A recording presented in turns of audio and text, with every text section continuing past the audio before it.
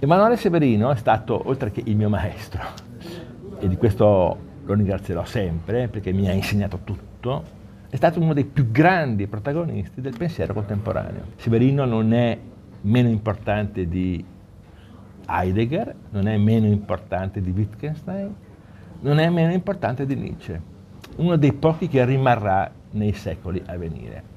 Perché? Perché Severino ha saputo disegnare uno sguardo capace di comprendere tutta la storia della filosofia all'interno di un unico significato, che lui chiama nichilismo.